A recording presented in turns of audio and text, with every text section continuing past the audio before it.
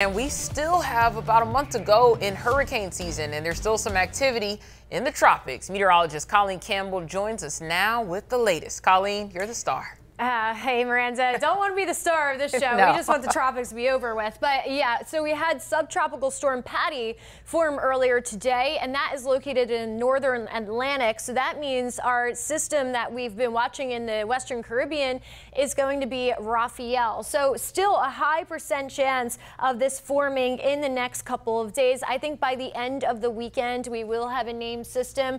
And again, that next name is Rafael. For now, it's just tagged as Invest 9. 97L because it's not uh, tropical quite yet, but it's getting there. Still trying to organize here. Also, we have this little ripple of energy that's slightly out to the east of that. Comparing the models here, this is just two of the models, the Euro and the GFS, and they're in pretty good agreement that this system is going to brush by uh, Jamaica and then start to move towards Cuba. But from there, the models do split apart. And you'll see on the spaghetti models here, which have been updating throughout the night, there's also some slight disagreement when it goes into the Gulf Basin. There's a couple reasons for that. This is going to encounter some wind shear in the Gulf Basin as well as some cooler temperatures. So there's still a lot to be determined.